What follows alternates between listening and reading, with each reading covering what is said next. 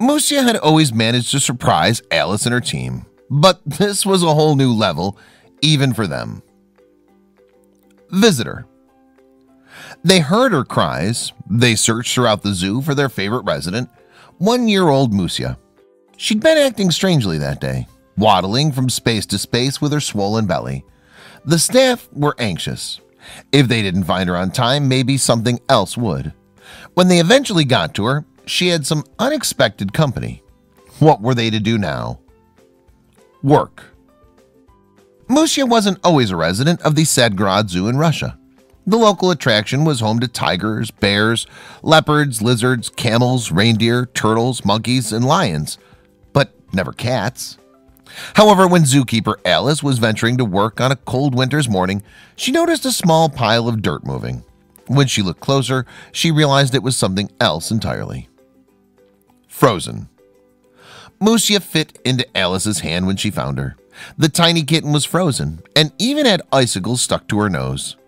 Alice wasn't sure if she was going to make it through the night. She stuffed the hairball inside her jacket and went to work. The vets rallied and did everything they could for the little tot. Then all they could do was wait. But Musia was about to shock them all. Miracle. To everyone's disbelief, Musia made it through the first night, then the second, and then the third. Between shifts, the keepers would come to the staff room to shower her in affection. She was still underweight and weak, but she still managed to get up and run around every day. She quickly became one of the family. Then they realized how much danger she was truly in. As Musia became strong, she loved to explore. The window of their staff room was her only experience of the outside world. They wanted to keep her safe. After all, there were wild animals on the other side of the glass. But one day, as Alice opened the door, Musia slipped out. They managed to keep her inside for over a year, only ever leaving for a short walk on a leash. How would she fend for herself? They never expected her to come back like this. Missing.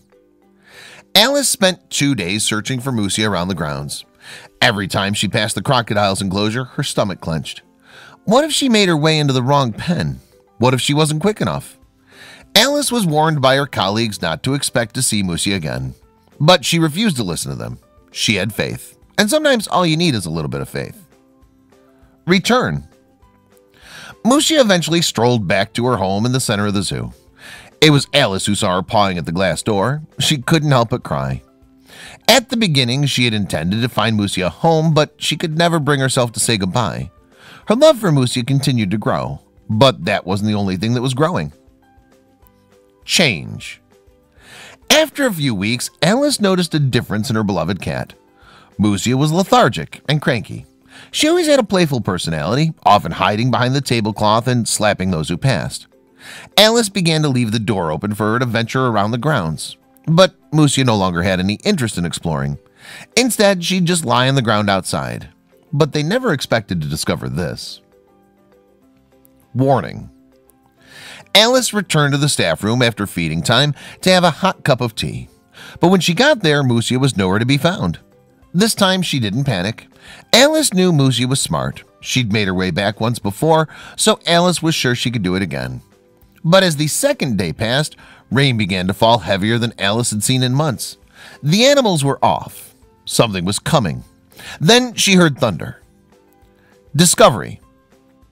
Alice and the other keepers grabbed their flashlights to search every nook and cranny around the zoo. She was sure Musia wouldn't have left the grounds. Here there was food and small rodents.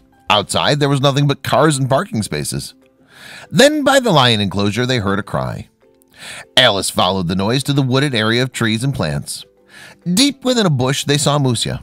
However, she wasn't alone. Something was crawling on her chest. Surprise.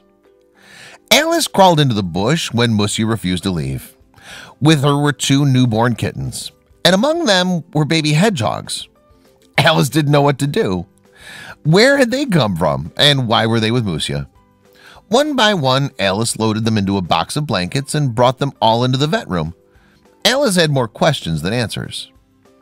Motherhood. When Alice told the vet about Musia, he laughed. But when he opened the box, the smile turned into a frown. Deep lines burrowed into his forehead. I've never seen anything like this, he whispered before checking Musia and her young. He separated the species into two boxes before leaving for a talk with Alice. When he returned, they found out what was going on. Determined. Musia had picked up her kittens and moved them one by one over to the hedgehogs. She sat among them proud as ever, purring as they burrowed into her for heat. Were the hedgehogs not hurting her? Were they not hurting the young kittens? But as Alice watched them together, something clicked. Normal. Musia had adopted all eight hedgehogs, and although their pricks would scare off many animals, Musia was not like most creatures. Alice was amazed, but then she worried for the safety of the kittens. She took the hedgehogs away and attempted to nurse them from a bottle. However, after hours of them refusing, she had no choice but to return them to their new mother. Little did Alice know this wasn't the first instance of interspecies adoption. Another cat in Russia called Rosinka made headlines after she adopted a baby squirrel named Fyodor. The young creature was brought home by a zookeeper after being abandoned by its mother.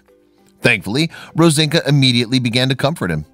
Was it just cats in Russia who had the tendency to help other animals in need? Reputation Cats are commonly misunderstood. They're the less popular household pet when it comes to dogs, and many canine lovers put the fact down to felines' malicious demeanor. However, cat owners around the world have rallied to share the benefits of owning a fluffy pal. Benefits Owning a feline is said to lower the risk of heart disease and help the owner sleep better. Their calm personalities ease stress and anxiety. Their purring is a continuous vibration that increases relaxation. And owning one is known to reduce allergies during childhood years. Above all else, owners have expressed the unparalleled company a cat provides while lounging on the couch to watch television. But how could Musia cope with such a big family? Truth. Against all her better instincts, Alice decided to keep Musia's family together. The young mother managed to nurse and care for all her children. Later, they discovered where the hedgehogs had come from. Turns out their mother had been involved in a tragic accident with a lawnmower on the grounds of the zoo earlier that week. The little tots had been starving before Musia came across them. Alice was astounded. Had she rescued them before she had her kittens? Now, although many had their doubts, Musia continued to raise the hedgehogs like her own. Alice set up their own house just outside their staff room so she could keep a close eye on them. To her surprise, Musia had yet to cry from the pricks of the baby hedgehogs. It's as though they can sense her motherly presence. And the internet couldn't handle the cuteness. Love. Alice shared photos of the young mother online, and people are astonished. Cat lovers are singing Musia's praise, and dog lovers have been touched by her gentle nature.